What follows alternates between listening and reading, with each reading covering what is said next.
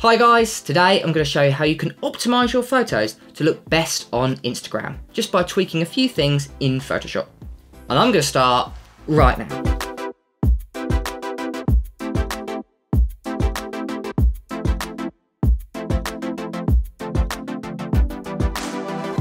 Hi guys, and welcome back to the channel. My name is James, and if it is the very first time to this channel, and you want to learn all about Photoshop, Lightroom, and everything photography related. Start now by subscribing and hitting the bell so you don't miss anything. So in this video guys, we're going to be talking about Instagram and how you can optimize your photos to look their best when you upload them to Instagram. So today what I'm going to do is we're going to be talking about how to enhance colors to really make them pop, how to enhance contrast to really make your images look their best, but also how to optimize your photos using Photoshop color modes, also using the resolution and crops, but also how to optimize it so the compression doesn't affect it when you do upload it to Instagram. So if you'd like to download the pre-selected photo that I'm going to be using in this tutorial so you can follow along, then go ahead to the link in the description. But without further ado guys, let's get started.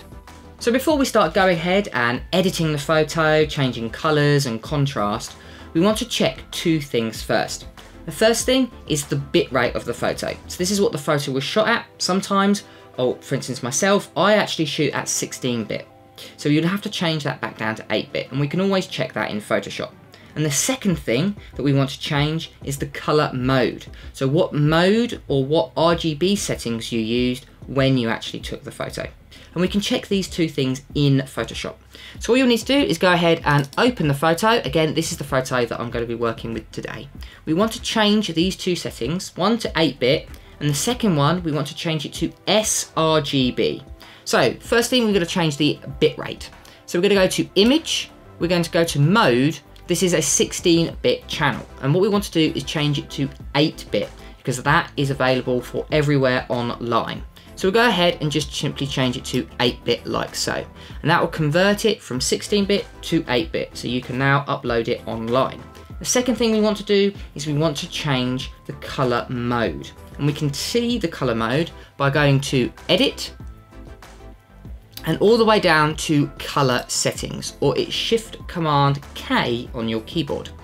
Now as you can see here we've got our workspace We've got our bunch of different color states, but the one that we're mostly focusing on today is RGB. And at the moment I'm shooting in Adobe RGB 1998, so we're gonna to want to change that to sRGB. And you can see that in the preset panel here. And as you can see, there are so many different color modes. So that's something you always want to check if you're ever wanting to upload either to your portfolio or to Instagram.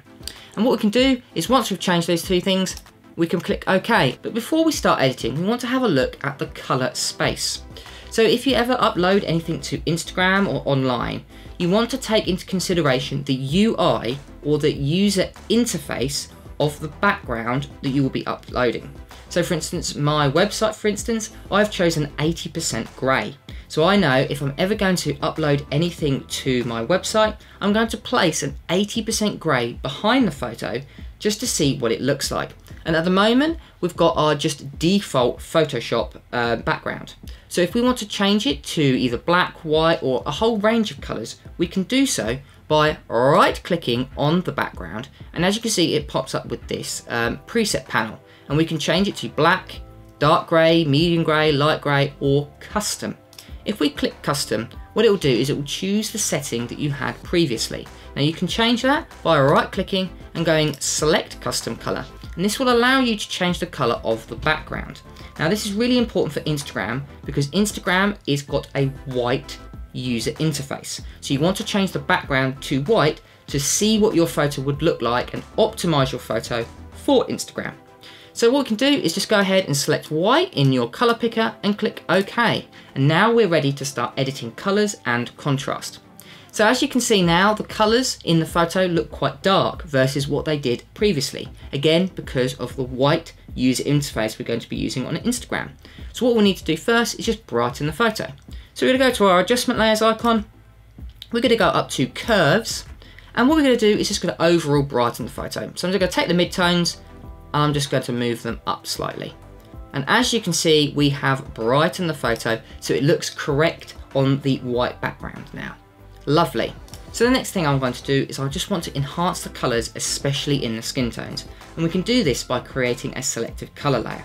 Now selective colour layer is one of my favourite ways of adding in and subtracting colour because it doesn't increase or decrease the amount of saturation. It just moves the colours around within the colour space.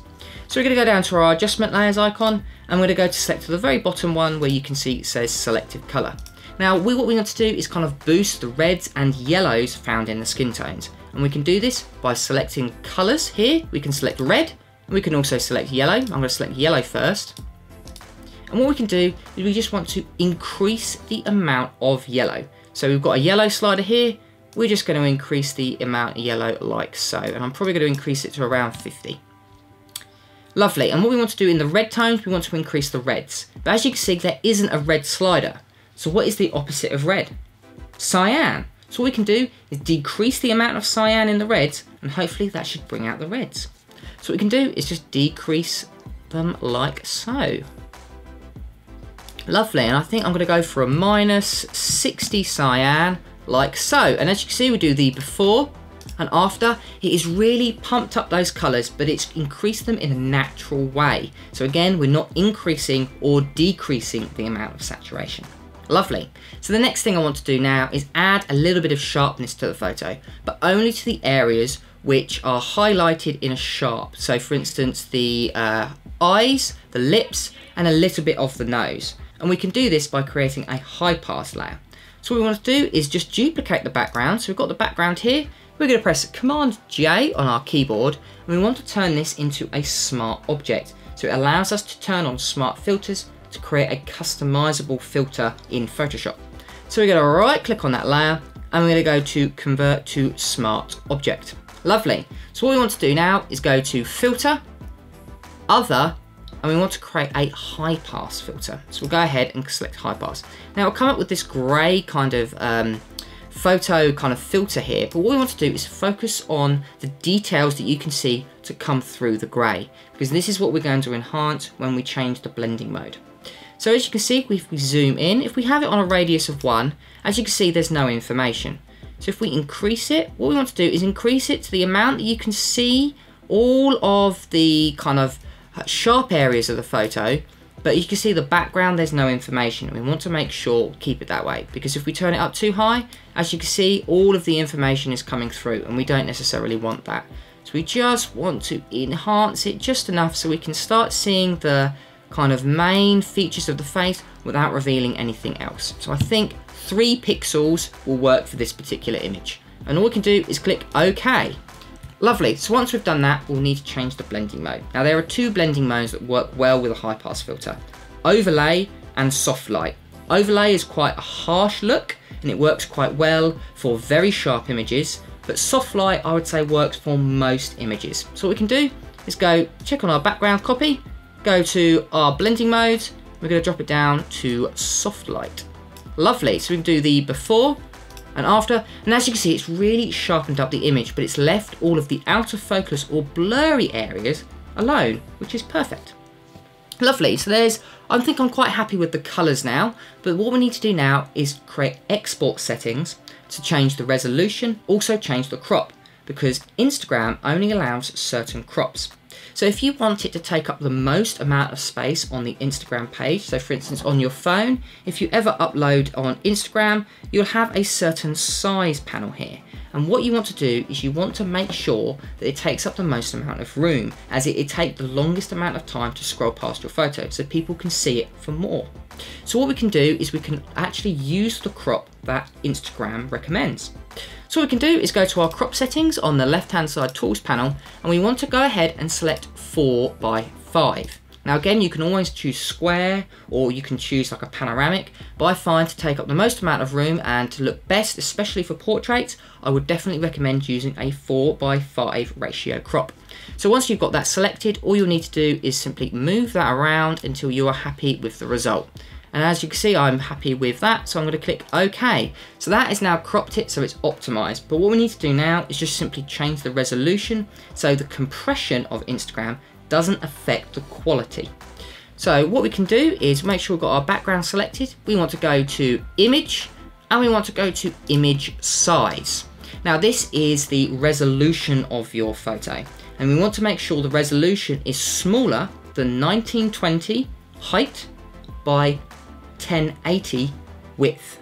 So it's very similar to a 16 by 9 ratio crop that you would have if you ever upload, for instance, a high definition photo. So what we can do is we can check the width and the height. I'm going to choose the width, make sure it's smaller. So I'm going to choose 1920 and as you can see, that's a little bit too big. So what we need to do is I'm just going to change the width to 1080.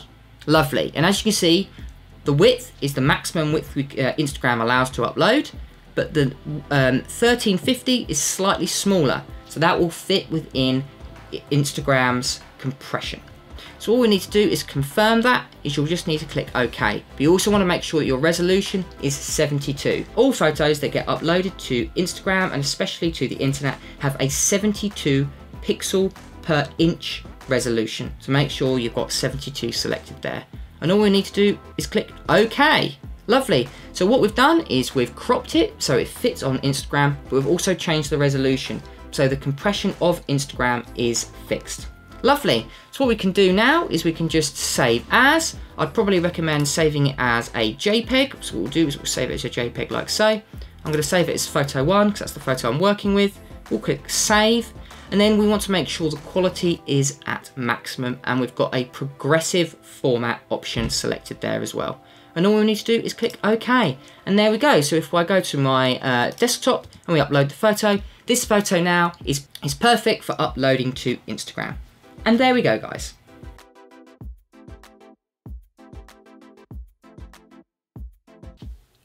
Brilliant, and there we go guys. So that is how you can optimize your photos to look their best when you upload them to Instagram. So if you follow those tips, you should get the best results possible. Again guys, if you want to like, comment and subscribe to my channel, it really, really does help my channel grow.